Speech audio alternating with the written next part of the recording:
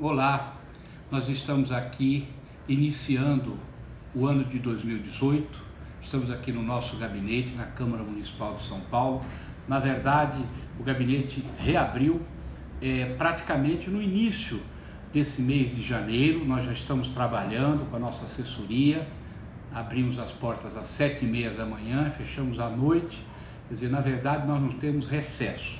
Estamos atendendo, trabalhando, visitando os bairros, fazendo a nossa política é, parlamentar na cidade, em defesa da sustentabilidade, em defesa da ética, em defesa da qualidade de vida em São Paulo. É, o, nosso, a, o nosso descanso foi mínimo só praticamente entre o Natal e o Ano Novo, como todo ano a gente faz.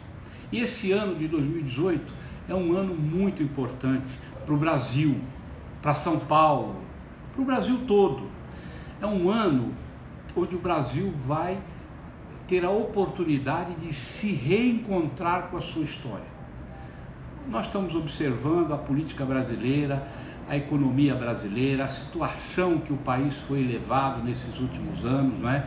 Nós estamos vivendo uma imensa crise política no Brasil, uma crise de governabilidade, de respeitabilidade pelos governantes, uma crise na economia do país, a economia do país abaixou a sua produção, o seu emprego, a sua renda. Estamos vivendo uma crise também social, de um desemprego enorme, as pessoas passando necessidade e uma crise moral.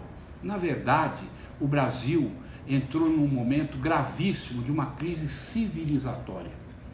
Isso é o que nós estamos enfrentando hoje, nessa entrada de 2018 no Brasil. Mas o brasileiro, o povo brasileiro, que está enfrentando isso, está sofrendo, as pessoas de bem desse Brasil clamam por justiça, clamam pelo combate à corrupção, pela punição aos corruptos, aos maus políticos que fizeram essa situação no país. Não pode perder as esperanças, nós não podemos perder as esperanças, nem a vontade de lutar. Nós temos que nos manter unidos, nos manter firmes dentro dos nossos ideais. Eu, por exemplo, defendo até o fim a democracia, as liberdades democráticas, defendo a ética dentro da política e na vida das pessoas, também na vida particular. Defendo a, a justiça social, a qualidade de vida para todos os brasileiros e defendo um desenvolvimento econômico sustentável, onde você tenha riqueza econômica, justiça social e proteção e defesa do meio ambiente. É com esse espírito que eu entro no ano de 2018, como eu repito, um ano muito importante para o futuro do Brasil. Por quê?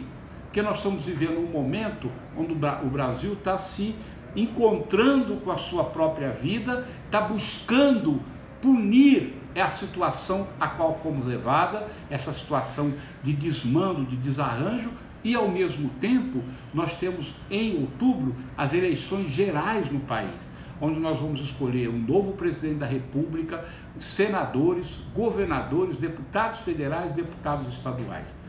Os homens e as mulheres de bem, sejam eles jovens, adultos ou idosos, os brasileiros de bem, as brasileiras de bem, precisam se juntar numa única força para a gente ter um governo no Brasil que a gente tenha a honra de dizer: esse é o nosso governo, eu trabalho para isso.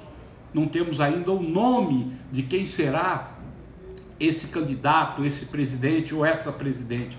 Não temos o um nome, mas sabemos muito bem quem não deve ser.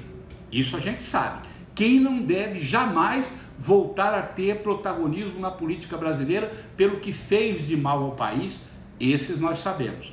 E vamos construindo com o nosso trabalho uma situação onde surja um brasileiro ou uma brasileira que possam assumir as rédeas do país. Um Congresso Nacional renovado, com deputados sérios, dignos, que tenham amor à causa pública, amor ao progresso verdadeiro e ético no Brasil. Governadores comprometidos também com a causa popular. Não é uma tarefa fácil, minha gente. É uma tarefa difícil. Mas nós nunca fugimos das dificuldades da vida.